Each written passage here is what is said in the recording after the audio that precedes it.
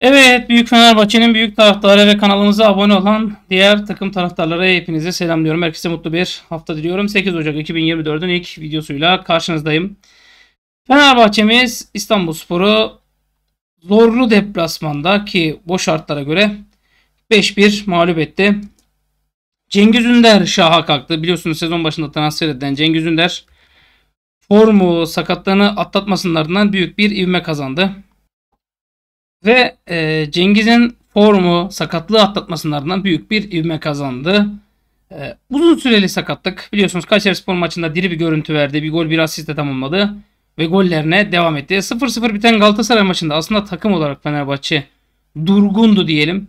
Çünkü maçın hakemi sağ olsun Fenerbahçe atağa çıkamasın diye her Fener, Fenerbahçe'nin kaptığı her topta faul faul deyip futbolcuları mahvetmiştim.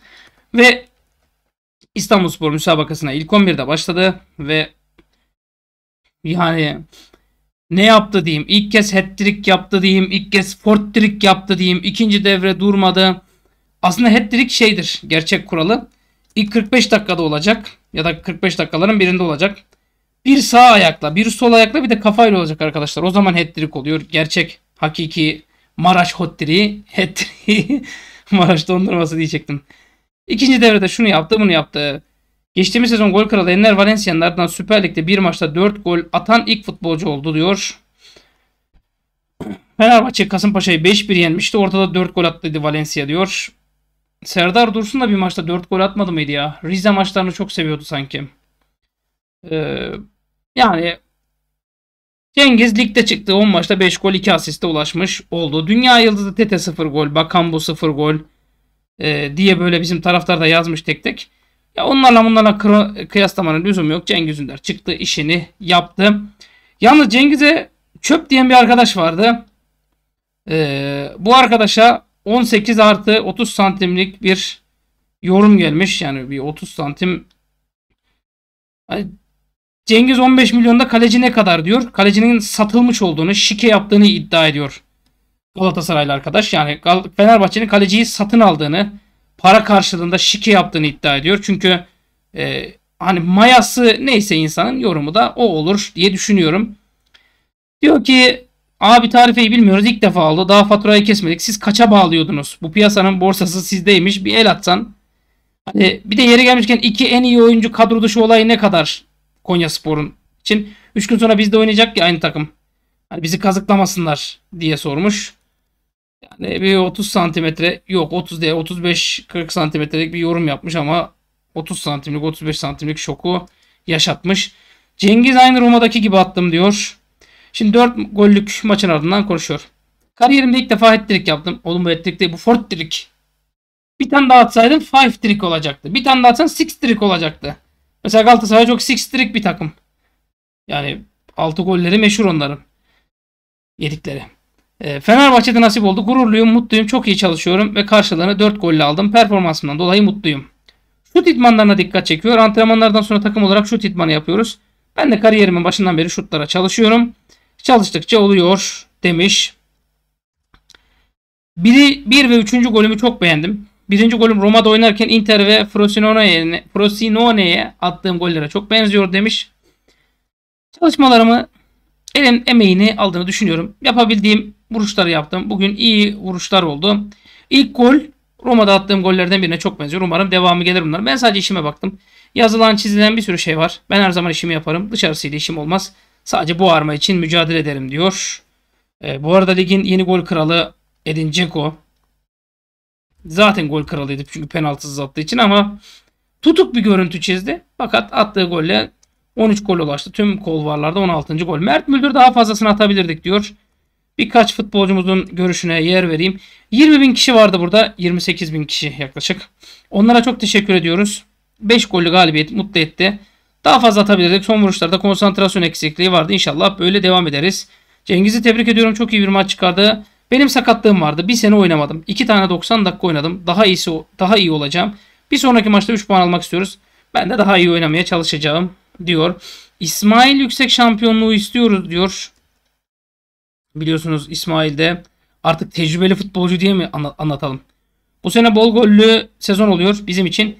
Yeni yıla böyle bir galibiyete başlamak mutluluk verici. Takımın coşkusu iştahı mutlu etti. Taraftarımız da bizi deplasmanda kendi evimizde hissettirdi. Hafta içi erteleme maçı var Konyaspor'a karşı. Liderliğimizi yani liderliğimiz devam ediyor. Kaybedecek bir şeyimiz yok. Yolumuza bakıyoruz. Lideriz ve lider devam etmek istiyoruz. Bu sene farklı bir, bir sene bizim için. Çok iştahlıyız. Bu sene şampiyonluğu istiyoruz. Gidebildiğimiz yere kadar gitmek istiyoruz. Ne olur bilmiyoruz. Hakkımızda hayırlısı. Tüm takımı tebrik ediyorum. Ayrıca Fenerbahçe taraftarı her zaman böyle iyi ve kötü gitse de iyi kötü fark etmiyor. Bazen saha içinde istenilen sonucu alamıyoruz. Ama destek hep devam ediyor. Kağıt üstünde deplasmandaydık ama evimizde hissettik. Desteklerini esirgemediler. Umarım bugün onları mutlu etmişizdir diyor. Miguel Crespo Süper Kupa oynansa daha iyi olurdu diyor. Şimdi futbolcular bu cümleleri kurunca da bazen ters tepki olabiliyor. Ama cümleleri iyi dinlemenizde fayda var. Ee, maçtan ötürü çok mutluyum. Yıla iyi bir başlangıç yaptık ve bu şekilde devam etmek istiyoruz. Süper Kupa'nın oynanmasını tercih ederdik. Kazanmak için sahaya çıkacaktık. Ki biz daha da avantajlıydık açıkçası o da. Bizim dışımızdaki olaylar sebebiyle oynanmadı. Artık lige odaklandık diyor. Sezonun bu şekilde çekişmeli geçeceğini düşünüyorum. Ama bizim yapmamız gereken şey çok basit. Kendi maçlarımızı kazanmaya devam etmeliyiz diyor. Ee, Cengiz ve Fred'in yokluğuna ilgili bir şey söylüyor. Cengiz için çok mutluyum. Bu şekilde devam edeceğine inanıyorum. Her şeyin en iyisini hak ediyor. Fred'in yokluğu benim üzerimde baskı oluşturmuyor. Hangi pozisyonda oynarsam elimden gelenin en iyisini yapmaya çalışıyorum. Diyor. İsmail Kartal'dan şampiyonluk sorusuna yanıt. Daha doğrusu İsmail Kartal'dan değil. İsmail Kartal'ın açıklamaları genel bir bütün. Ee, bugün buraya kazanmaya gelmiştik. Maça iyi başladık. Cengiz'in golünden önce bir iki tane daha net pozisyonlar vardı. Ceko'nun falan vardı hatırlarsanız. Bir aşırtması vardı. Keşke o gol olsaydı. Onlara değerlendiremedik. Cengiz'in golü moral verdi. Yediğimiz gole hemen cevap verdik. Baştan sona kadar kazanma enerjimiz yüksekti diyor. Biz bugün biraz daha kontrollü topu tutarak oynayabilirdik. Gol kaçırdıkça kaçırdığımızı telafi etmek için hemen atalım dedik ve oyun git gele döndü. Rakibe böyle pozisyonlar verdik. Ee, normalde bu kadar pozisyon vermiyorduk. Bu maçı analiz edeceğiz. Oyuncularımızla tartışacağız. Konuşacağız diyor. Bakacağız diyor yani. Ben de bunu notlarıma ekledim. Onu da son kısımda söyleyeceğim. Sonuçta 5-1 kazandık. Takımın coşkusu, enerjisi beni mutlu etti. Kaçan penaltı var. Direkten dönen var. Tartışılan 1-2 penaltı pozisyonu var. Sonuçta 3 puan aldık. Güzel bir şekilde çarşamba günkü maçın hazırlıklarına yarın başlayacağız. Hücum opsiyonlarıyla ilgili sürekli çalışıyoruz. Kazanma odaklı bir takımız. Her maçı kazanmak istiyoruz. Kazanmak için güçlü oyun ve gol atmak gerekiyor. Goller için hücum opsiyonlarımızı arttırıyoruz. Bugün iki yeni opsiyon kattık. Sezon sonuna kadar böyle devam edecek diyor. Ee, kazanmak için hafta içi yaptığımız tüm organizasyonları oyuncularım sahaya yansıttı. Bir şeyi yanlış yaptık sadece. Kaçırdığımız gollerden sonra onu telafi etmek için hızlı şekilde gol atma arzusuyla oyun git gele döndü pozisyonlar verdik. Normalde bu kadar vermezdik diyor. Bu da eksik tarafımız oldu. Seyir zevki güzel bir maç oldu. Daha farklı kazanabilirdik. 3 puan için geldik. 3 puan aldık. Mutluyuz. Yani pazartesi antrenmandan sonra çarşamba oynayacağımız maçın hazırlıklarını sürdüreceğiz diyor. Cengiz'in 4 gol atması Cengiz adına çok önemliydi. Uzun zamandır kendi üzerinde baskı hissediyordu. Attığı gollerle özgüveni daha fazla yerine gelecek. Daha yüksek özgüvenle moralli maçlara çıkacağını düşünüyorum. Elimizde İrfan da var. Emre Mor da var. Hani hepsi elinden gelenin en iyisini yapmaya çalışıyor. Önümüzde çok maç var. Maç maç hepsini değerlendireceğiz diyor. Ee, biz her maçı kazanmak için sahaya çıkıyoruz. Gol atmak için hücum opsiyonları, organizasyonları geliştirmemiz lazım. Sürekli aynı şeylerle değil. Değişik organizasyonlarla takımı geliştirmek lazım. Biz buna da çok çalışıyoruz. Şampiyonluk için hani Galatasaray'la şampiyonluk yarışında e, derbilerde berabere biten bir maçtan sonra avantajı ele geçirdim düşüncesine katılmıyorum. Biz lideriz. Avantaj ve psikolojik üstünlük bizde. Bu puan puana lideriz, şampiyon olacağız demek değil ligin sonuna kadar gidebildiğini, gidebileceğini düşünüyorum. Burada sakatlıkları az olan, maçları kaybetmeden, rakibe çok avantaj vermeden az kayıpla sezon sonuna kadar pozisyonun elinde bulunduran takım sezon sonu şampiyon olacaktır diyor. Şimdi Galatasaray'ın maçı 3-0 bitti. Ona da değinelim. Yani Erman Toroğlu diyor ki Konya sporlu oyuncular hakemle mücadele edemeyeceklerini gördüklerinde maçı bıraktılar. Ben Konya sporlu oyuncu olsam bugün atılmıştım. Bugün iki şampiyonluk adayı takımı maçlarındaki hakem yönetimlerini gördükten sonra çok net söylüyorum bu hakemler Fenerbahçe'yi şampiyon yapmaz. Bir takımı çektiler diğer takımı ittiler demiş A-Spor'da. Ben duymadım ama sosyal medyadan gördüm. Hakan Keleş golden önceki bak İlk golden önceki pozisyona itiraz ettim. Dördüncü hakem faul dedi. Orta hakem vermedi. Zaman zaman anlıyorsunuz hakemin verdiği faullerle burada galip gelemeyeceğinizi. Yani burada hakkınızda kazanmak çok zor. Düşünün bak. Şimdi Galatasaray'ın ilk golü öncesi açık ve net bir faul var. Net. Yani herkesin görebileceği bir faul var. Yan hakemin net açısında görüyor. Yan hakem eğer kör değilse ki öyle olsa hakemlik yapma, yaptırmazlar. Böyle bir faulü görmeliydi. Orta hakem de ulan takıldı etti düştü acaba niye düştü diye görmese bile sormalıydı. Dördüncü hakem faul dediyse hepsinde aynı kulaklık var. Buradan faul dediyse orta hakem duymuştur zaten. Yani Konya Spor buna itiraz etmeli. Dördüncü hakem faul dedi gördük dedi. Ha şu da bir gerçek. Pozisyondan sonra Galatasaray lehine bir faul oluyor. Var geriye bakmaz diyorsunuz. Şimdi kabul edelim. Var geriye bakmaz. Fenerbahçe'nin bu yıl Samsun Spor maçında iptal edilen golü düşünün. Alakasız bir gol. Hani faul olup topun rakibe geçtikten sonra yine Fenerbahçe'nin kazandığı iptal edilen Tadic'in bir golü var. Onu da bir düşünün. Yok Tadic'in asisti vardı sanırım. Kadıköy'de. Savunma arkasına bir asist. Ceko'nun golüydü yanlış hatırlamıyorsam. Ya bizim isyanımız buna. Bunun adı kullanma işte. Biz buna kullanma diyoruz. Galatasaray'ın kırılma noktası maç 0-0. O gol olmasa belki maç 0-0 bitecek. Şu anda ne konuşacaktı? Herkes işine geldiği gibi konuşacak. Ama ben size söyledim. Maçtan önce söyledim. Söylemedim mi? Ben size maçtan önce söyledim şekerim. İyi düşünün. Hafızanızı yoklayın. Fenerbahçe, İstanbul, İstanbulspor Fenerbahçe maç önü canlı yayınında biz burada konuştuk. Ben burada size anlattım olayı. Maceradan bahsettim. Ee, İstanbulspor Fenerbahçe maç önü canlı yayını var ya. Onu açın. 11. dakika 30. saniyeden itibaren dinleyin. Çünkü çok güzel şeyler var. Başka bir olay var. Konya Spor olayı. Arkadaşlar bir söylentiye göre, bir iddiaya göre ben bu, sefer arkadaşın şeyini paylaşmayayım ya da bu iddiayı ortaya atanlarınkini paylaşmayayım. Ee, eğer bunu paylaşırsam sıkıntı yaşayabilir. Çünkü maç sonucu manipülasyon, iddia şikesi, bahis şikesi, cartürt milletin başı ağrıyabilir. Ya Galatasaray'ın oyuncularına bugün hani garanti maç dediği iddiaları var. Ben inanmıyorum açıkçası. Niye Galatasaray'da son dönemde bütün oyuncular zıpladı? O da ayrı bir mesele. Konya Spor maçının niye banko görüyorlar? Onu şimdi anlatacağım. Yani 3-0 kazanacaklarını iddia ediyorlar. Torreira'ya aşkın olayım, şaşkın olayım. Ee, geçen Torre yani gerisini de herhalde internetiniz vardır. Açıp izleyebilirsiniz 11. dakika 30. saniye arkadaşlar. İstanbul Spor Fenerbahçe maç önü canlı yayını. Tekrarını izleyin. 11 Dur, oraya da yorum olarak da yazayım. Oraya da bir şey geçeyim. Ya hani biz e, perşembesi belli olan çarşamba ile ilgili yorum yapıyoruz. Anlatabiliyor muyum? Ve hani ben Konya Spor'a şunu da sormak istiyorum. Hani kadro dışıydı ya Enzonzi 1, Bernardoni 2, Çikaleşi 3. Hani 3 futbolcun bir anda affedilmeyecek değil mi? Yani 3 gün sonra çarşamba günü hatta 2 gün kaldı. Çarşamba günü bizimle maçımız var ya.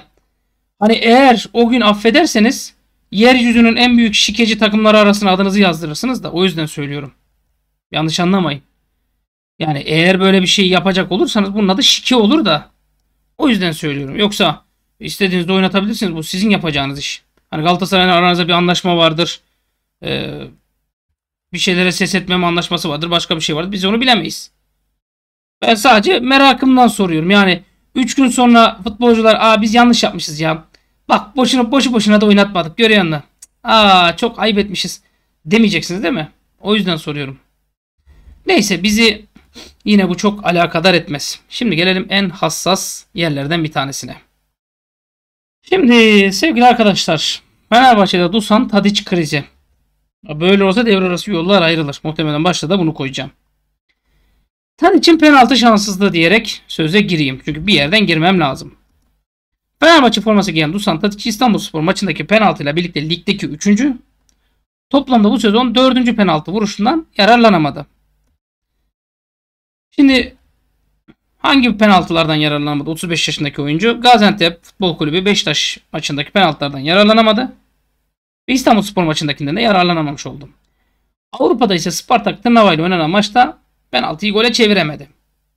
Fenerbahçe formasıyla toplam 11 kez topun başına gelip 7 gol sevinci yaşadı.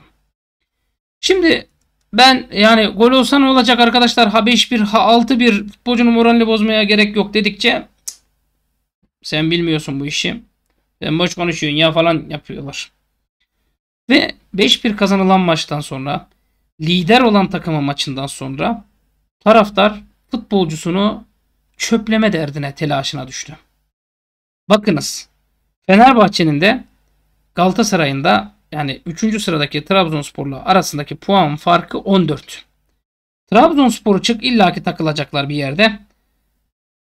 4. sıradaki Kayseri Spor'la puan farkı 18. Yani 6 hafta ileriden takip ediyorlar.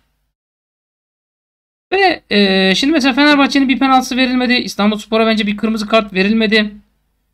Bu kadar şey oldu. Fenerbahçe taraftarı bunu konuşmak yerine neyi konuşuyor? Tadic'in gitmesine. Bakın puan durumu da bu arada paylaşayım da sonra sen boş konuşuyorsun ya demeyin. Ya 18 maçta 49 gol atılmış. 5 gol daha atsan maç başı ortalaman 3 gol. Lig tarihindeki rekormuş bu bu arada 49 gol arkadaşlar. Bilginiz olsun. İyi de hocam yediği golde 15. Fark eder mi? E, ikinci sıradaki 9 gol yemiş. Fark ediyor mu? E, bir, bir fark ediyor. Mesela 15 gol yemişsin.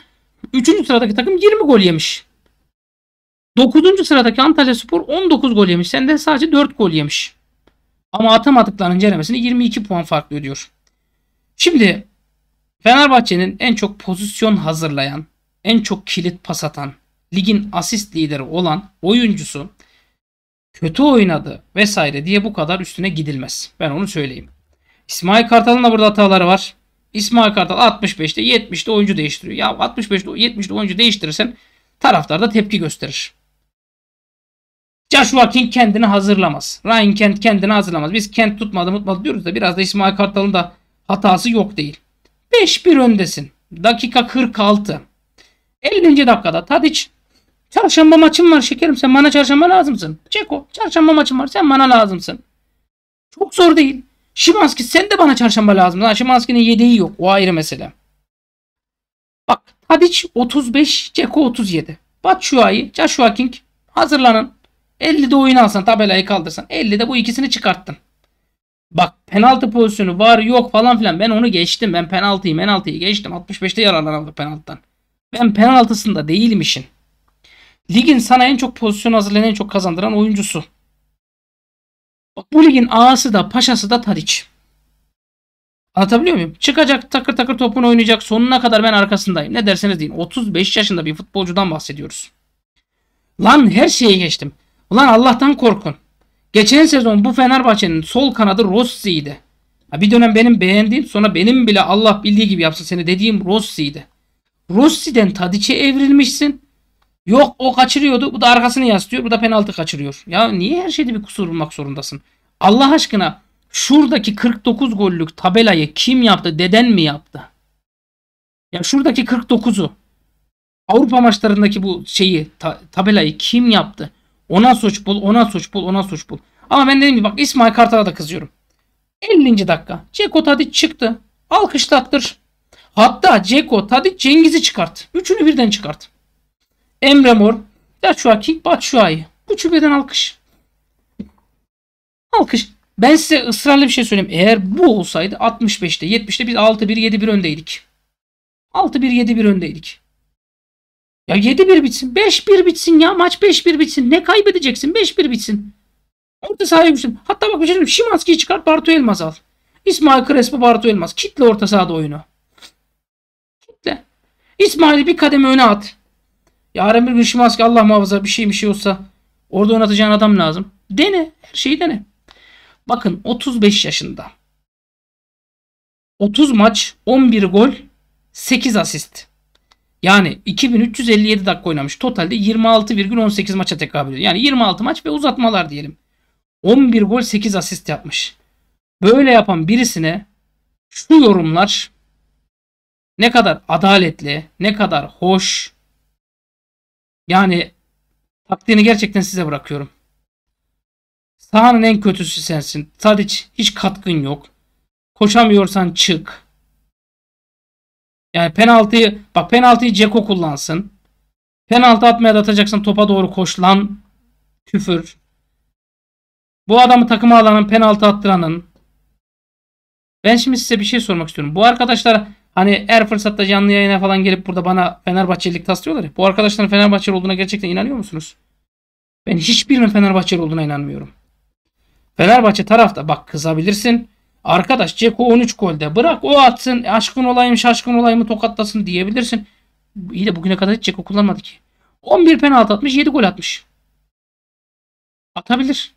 Ya sen Tadiş'ten faydalanmaya bak. Bak düşüş elbette yaşanacak arkadaşlar. Lig uzun bir maraton. Cengiz Ünder e, 4 hafta önce Cengiz Ünder'i konuşalım. 5 hafta önce çöp 15 milyon euroluk kazık. Bugün Bugün hocam Konya maçında da 3-4 tane atsın. Vallahi diyeceğim ki 15 milyon euroyu hak ediyor diyeceğim cümlesini kuracaksınız. Bak Ceko 23 maç 17 gol 7 asist. 1734 dakika oynamış. Yani yaklaşık tam olarak 20 maç. Ya 1800 olsa 20 maç. 20 maçta 17 gol 7 asist. Yani 24 gollük katkı. Bu Avrupa'da ligde. Şimanski 30 maç 11 gol 11 asist 2102 dakika. 23,35 yani 23 maç oynamış. Uzatmaları 11 gol 11 asist. Biz çöpleme derdindeyiz. Şey böyle marjinal olma derdindeyiz. Aman benim sözlerim çıksın. Aman benim sözlerimi herkes dinlesin. Skorer değil. Ya sezonun başından beri tüm Galatasaray kanatlarının toplamından fazla skor katkısı yapmış.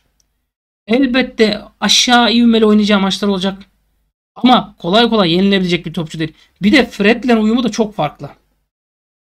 Fred'le uyumu çok farklı. Mesela Erman Özgür Şimanski için diyor ki Şimanski kadar mücadele eden bir 10 numara hiç görmedim. 5-1 iken çizgiden top çıkarttı. Bir savunma oyuncusunun yapması gereken işi yapıyor. Çok faydalı bir oyuncu ama 10 numara olarak Alex Hacı Sercan tadı var mı? Yok diyor. Ben de bunu anlatıyorum. Modern 10 numara değil bu adam. Şey, e, modern 10 numara. Klasik 10 numara değil bu adam. Siz bu adamı onunla bununla kıyaslarsanız hataya düşersiniz. Ya bir Alex değil. Değil tabi. Ya bir Alex kolay mı geliyor dünyaya? Bir tane daha varsa hemen çökelim. Hemen alalım. Hemen basalım kafasına ya. Bir tane daha var mı Alex ya? Ya bir saçmalamayın. Bir, bir Alex daha varsa hemen çökelim kafasına. Ben şunu söylüyorum Fenerbahçe taraftarı. Bu hoyratlığı, bu şımarıklığı yapmayı sürdürürsek Tadiş'ten de oluruz. Bugün Fenerbahçe'ne kim yaparsa yapsın. Hangi takım, hangi takım Fenerbahçe'ye rakip olursa olsun. Tadic'i bırakın ya 35 yaşında o. Hiçbir şey yapamaz. Geri zekalılığını yaparsa bak bakalım Tadiş ne yapıyor. Çarşamba günü Konya maçımız var. Konya Hakan Keleş. Oğlum o 3-4 maçta kötü lan bırakın oynamayın. Onu çok tutmanıza gerek yok. Sağ bek sen açılabildiğin kadar açıl derse bak bakalım kimin neresi açılıyor. Bak bakalım. Manyak mısınız oğlum siz? Kalçasını dayıyor, Ferdi'ye alan açıyor, sonra bir şeyler yapıyor. Bak ben şunu da söyleyeyim. Fenerbahçe'nin ideal, anlık, ideal orta sahası. İsmail, Fred, Şimanski. Sağ karıştı. İrfan mı Cengiz mi? Solda playmaker Tadic. Sağda. Ha. Konya maçında yap şovunu. Al sola bak solda Cengiz'in solda da performansı müthiş. Ben onu da belirteyim. Al sola Cengiz'i. Al sağ İrfan'ı. Koy forvete Ceko'yu. Sakın sakın böyle bir hata yapma. Bu yapacağın şey ne zaman biliyor musun? Bu yapacağın şey Tadic, e, 30. 35. dakika mı oldu? Pazar günü maçım var. 4-0 öndesin inşallah. 5-0 öndesin. Çıkar Tadic'i. Alkışlattır tribüne. Al oraya Cengiz'i. Al sağ İrfan'ı. Çünkü bu uzun bir maraton. Pazar günü deplasmandasın. Sana Ceko da lazım. Sana Tadiş de lazım. Sana hepsi, hepsi lazım. Bu kadar kolay futbolcumuzu harcamayalım. Yaptığınız yorum pozitif olsun. Deyin ki arkadaş hani arada sırada bıraksan mı? Bak 49 goldeyiz. 4 ta 3 tane ligde kaçmış. Atılsa 52 olacak. Daha moral olur. Ceko da kaçırdı. Bir sürü gol kaçırdı. Ceko'nun net kaçırdığı 2 tane gol pozisyonu var. İstanbul maçına. Kimse Ceko'yu eleştirmedi. Eleştiremez. Niye? Geriye geliyor ileri gidiyor. Tadiş de aynısını yapıyor. Yönlendiriyor. Sağ taraf ortada İsmail Kartal buradan el kol hareketleri. Sol taraf ileriden Tadiç yapıyor. Ama dediğim gibi İsmail Kartal'ı sadece bu konuda eleştiriyorum. Ve İsmail Kartal'ı bir yerde daha eleştiriyorum. Sevgili Nedret Boral e, kendisi takipçimiz selamlar olsun. Nedretciğim diyor ki hocam galip gelmişken söyleyeyim ki lig sonuncusu bir takımın elini kolunu sallayarak ceza sahasına kadar gelip oralarda top çevirmesi hiç iyi değil. Evet fark daha da artabilirdi ama böyle bir takım bize bile 3 gol daha atabilirdi. Bunun 3 sebebi var. Tadic Ceko çok ağırlar. Hele ki Tadic çok kötü oynuyor ve atakları sonlandıramadığımızdan kontra yiyoruz. Bak. Hocam Nedret'i de geçirecek misin cümlelere? Adam pozitif eleştiri. Bak ağırlar. Atakları sonlandıramayınca kontra yiyoruz diyor. Yani Allah belanı versin Tadic demiyor. İkincisi orta saha nasıl pres yapılır bilmiyor. Fred bu konuda takımı çok iyi yönetiyor. İşte ben de size diyorum ki çarşamba günü ulan Tadiç madem böyle oynayabiliyordun İstanbul maçında oynasaydın da 8-1 9-1 bitseydi ya diyeceğiniz bir performans gösterebilir. Ceko ulan İstanbul maçında kaçırdıklarından Çanakkale'ye 2. 3. 4. köprü yapılır oğlum onları niye kaçırdın diyebilirsin. Bak Fred gerçekten çok iyi iş yapıyor. Üçüncüsü Serdar çok savruk basit hatalarla top kaybediyor demiş. Aksine ben Serdar'ı da beğendim. Kötünün iyisi. Osterwolde bile Serdar'dan iyi demiş. Aksine bu maçta Osterwolde Serdar'dan biraz aksak oynadı. Anlamadığım Tadiç haftalardır dökülürken Kent'i bir kez orijinal yerinde görmedik. Bak işte ben de buna kızıyorum. Adamı göndereceksen bile oynat. Zor değil. Takım şampiyon olursa Ali Koç ve futbolcu grubu sayesinde olur diyor. Şimdi bunu demek de haksızlık olur. Şimdi bak ben bir öğretmen olarak söylüyorum. Çocuk 100 alıyor sınavdan. 100 aldı oluyor. Çocuk 45 alıyor sınavdan. Öğretmen 45 verdi oluyor. Bu adaletsizliktir. Bakın öğretmenin etkisi nerede belli olur biliyor musun? Ben size bir şey söyleyeyim. İyi öğretmeni nasıl anlarsınız biliyor musunuz? Hiçbir şey yapmaz iyi öğretmen. He canım yapmaya alıştınız. Hayır hiçbir şey yapmaz iyi öğretmen. Dışarıdan izle dersin ki ulan ben, ben de yaparım bunu. Bunda ne var dersin. Öyle olmuyor işte. Öyle ben de yaparım demek olmuyor. Ee, Recep İvedik'in şeyde bu filmde kil çamurundan, kil hamurundan, çamurundan neyse oradan yapmış olduğu şekle benzetirsin. Elinde kalır. Doğru öğretmen, doğru teknik adam taktikleri verir. Kendi fazla karışmaz. Yaparak, yaşayarak öğrenme dediğimiz bir olay var. Mesela bir, bir gün benimle 6 derse gelin bir stajyer falan olun. Benimle 6 derse girin çıkın mesela. Dersin ki hocam hiçbir şey yapmadın ki sen. Sen Allah aşkına kazandığın parayı hak ediyor musun dersin. Sihirli dokunuşları sana bir söylerim. Bak şurada şu oldu, burada bu oldu. Çocuk sınıfın başarısı, sınıf başarısı mükemmel. Türkiye birincisi. Harbi Türkiye birincisi benim sınıf. Ee, denemelerde Neyse. Dersin ki hocam dersin ha kritik mesele bu.